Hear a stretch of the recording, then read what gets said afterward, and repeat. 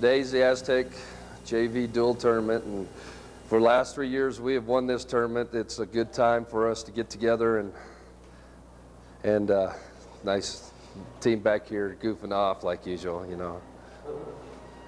Anyway, here we are in Aztec at the Aztec JV duals. The kids have worked hard to get here.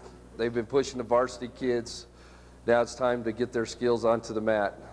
We've, we're defending champs three years in a row, and I think that we're going to be uh, coming home with a victory again.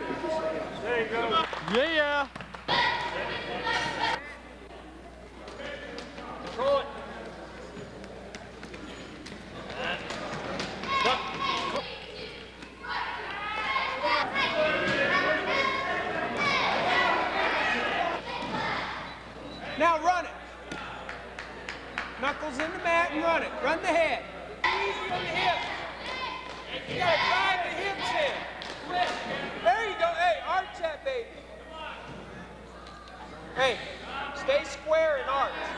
Stay square in arch. Stay there. Okay, we had a real good day. We wrestled at Aztec. We came away second as a team. We had four individual champions. I'm real proud with the way that we worked. We worked hard. We know that we'll come back in the room and we'll take care of more business. You know, hey, this is the start of the season. What matters most is what we do in Aztecs gym at the end of the season, February 1st. Like to see a lot more people out. We need more people to support this team. This team travels locally and they're tough. They're tough. The parents that were there today believe in them and they thought they did real well. We need more support, more support. And uh, hey, I'm proud of my kids. They did a great job. What else you want?